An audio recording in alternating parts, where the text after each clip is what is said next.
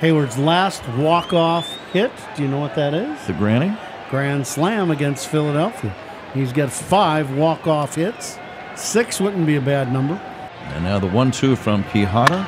Heyward hits a fly ball to deep left field. Back goes Granderson. It's got a chance. Cubs win.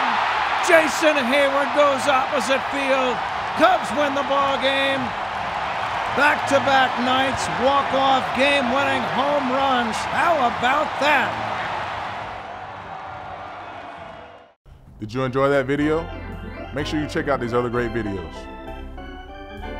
Hey Cub fans, don't forget to click.